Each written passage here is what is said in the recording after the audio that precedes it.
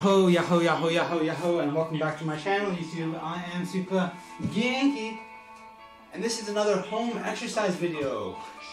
In today's video, I'm going to be teaching you how to do some dumbbell pull-ups. What are we working on right? What are we working on right now? We're working on our biceps. We did our back in the previous videos, now we're doing our biceps. Now I want to hit this home again. You don't need a dumbbell to do this exercise. You don't need a kettlebell to do this exercise. What you need is some mental fortitude.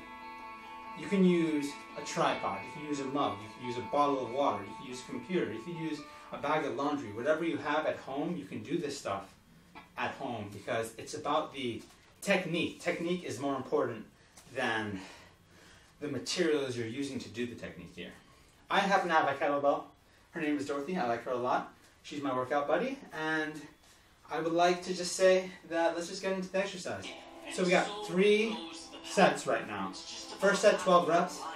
Second set, 14 reps. Third set, 15 reps. Then we have rest pause. What's a rest pause set? First set, the rest pause, you do your maximum number of reps. Then you take a break, about 20 seconds. Then you do your maximum number of reps again, and you're done. I'm on my third set of dumbbell pull-ups right now, so I'm to show you how to do this. If you looked in the last video, you saw that we did our horse stance. I'm going to teach you how to do the horse stance again. You want to stomp, stomp, hike, slap your skin. In one motion, let me show you this. This is our horse stance. We're going to tap into that primal energy. Now, let's go. So you're gonna hold it. You're gonna have your horse stance. You're gonna hold it like this. Now you want to put your back down. You want to hunch over about about what is it called 45 degrees. Then you want to pull up. One, two, three, four, five, six, seven, eight, nine, ten, eleven, twelve, thirteen, fourteen, fifteen. There we go. That's our third set of dumbbell pull-ups. Next set we have is rest pause. Everyone, I want you to be cognizant of working out at home because it's one of the most positive things you can do at home in quarantine right now. Quarantine is coming to an end sooner than you think. And when the world restarts, you get a restart button. Do you want to be in a good shape for when we press that restart button? Or do you want to have to work to get back in good shape?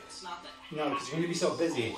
Things are going to be so all over the place. I really do feel like the best time to start working on ourselves is right now.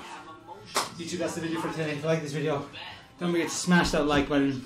Leave a comment if you're new. Leave a comment if in general if you like what I'm doing. Subscribe to the channel. I'm trying to get to 10,000 before, before the end of my life. and um, most importantly, share this video with your friends because we need to get the good word of positive thinking out there to as many people as possible. You don't know how much a share from a recommended voice can actually help someone out. I can't do it all myself, but I'll see you all in the next video. Bye bye.